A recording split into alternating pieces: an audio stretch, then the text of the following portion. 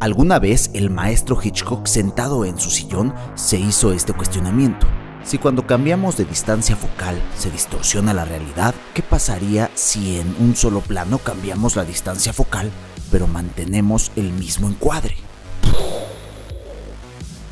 Después de esto, generó un estado de vértigo en su película del mismo nombre.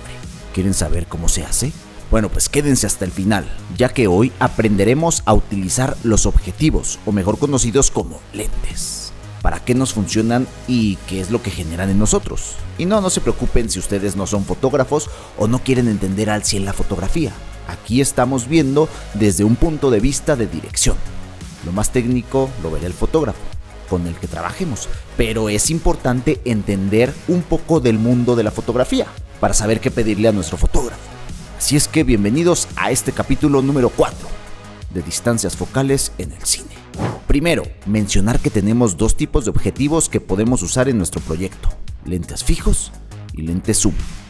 Con los lentes zoom podemos cambiar la distancia focal o para darme mejor a entender, podemos acercarnos o alejarnos al sujeto. Ya saben, hacer un zoom.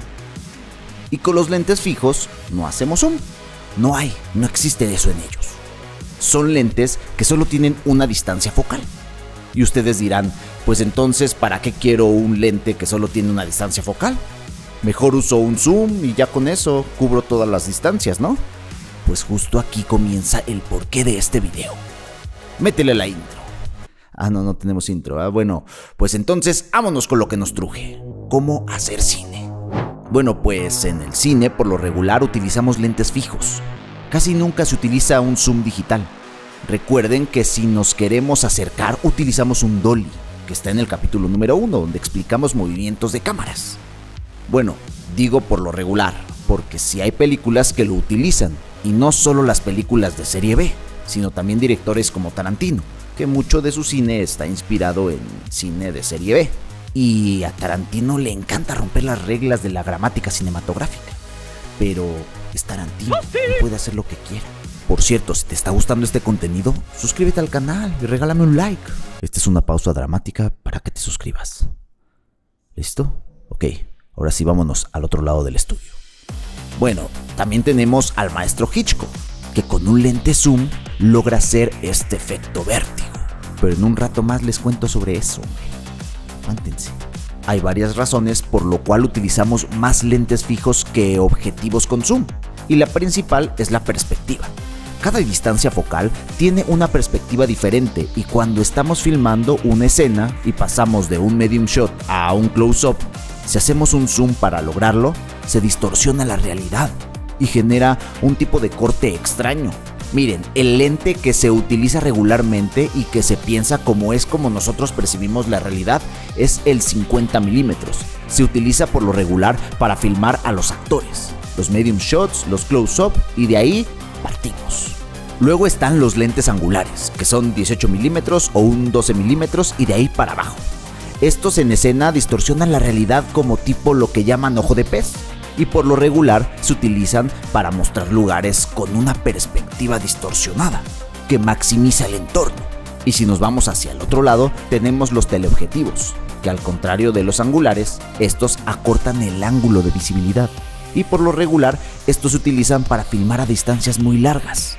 Por ejemplo, si estás filmando un documental en la selva, no quieres estar cerca del puma, ¿verdad?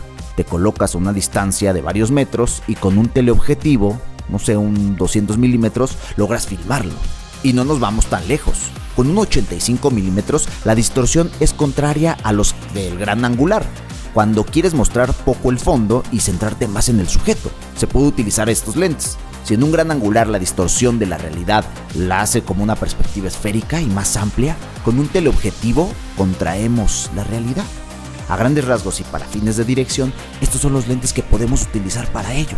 Pero vamos a lo que nos compete, a la composición visual. Con un teleobjetivo se ve así.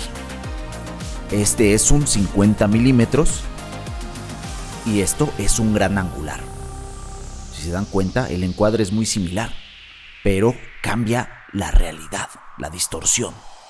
Aunque filmemos el mismo plano y el mismo encuadre, la realidad es otra. Existe una distorsión y esto se utiliza para fines dramáticos. Como les comentaba, Por lo regular, una conversación se filma con un lente 50 milímetros, los rasgos de la cara no se distorsionan y los actores se ven bonitos. Bueno, pues Iñárritu junto con el Chivo Lubeski en El Renacido dijeron, pues aquí el personaje que interpreta a Leonardo DiCaprio está en un estado de desesperación. Su realidad necesita estar distorsionada. Así que en cámara tomaron la decisión de colocar un lente angular para tomar su rostro y esto es lo que ocurre. A nosotros como espectadores nos genera una sensación que no hacemos consciente, pero claro que nos llega al inconsciente. Así es que de lo que se trata es de experimentar. Y hemos llegado al final de este video. Ah, ¿qué dijeron? Ya no nos va a enseñar cómo lo hace el maestro Hitchcock, ¿no? No, no, no, no, no. Pues aquí lo que prometemos lo cumplimos. Hitchcock se hizo la pregunta. Si cuando cambiamos de distancia focal se distorsiona la realidad, ¿qué pasaría si en un solo plano cambiamos la distancia focal pero mantenemos el mismo encuadre?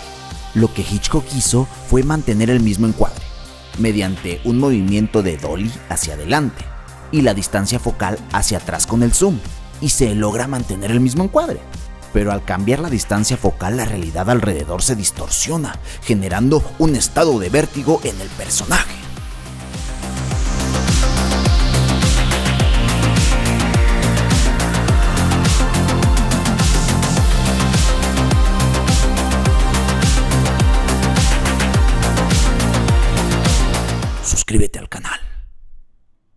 Muchas gracias por estar hasta este punto.